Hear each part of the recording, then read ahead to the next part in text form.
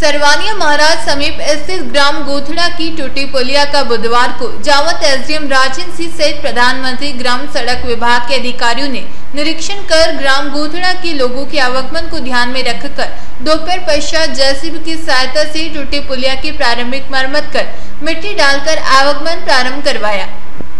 गौरतलब है कि अधिक वर्षा के कारण क्षेत्र की प्रमुख नदी गंभीरी से अधिक पानी और तेज बहाव के कारण ग्राम गोथड़ा की पुलिया मंगलवार को टूट गई थी, जिसे जन प्रतिनिधियों व मीडिया की सूचना पर प्रधानमंत्री ग्राम सड़क के अधिकारियों ने मौके पर पहुंचकर वैकल्पिक रूप से आवागमन हेतु चालू करवाया। ग्राम के लोगों ने प्रधानमंत्री सड़क विभाग और जिला प्रशासन के साथ साथ मीडिया का धन्यवाद ज्ञापित किया है।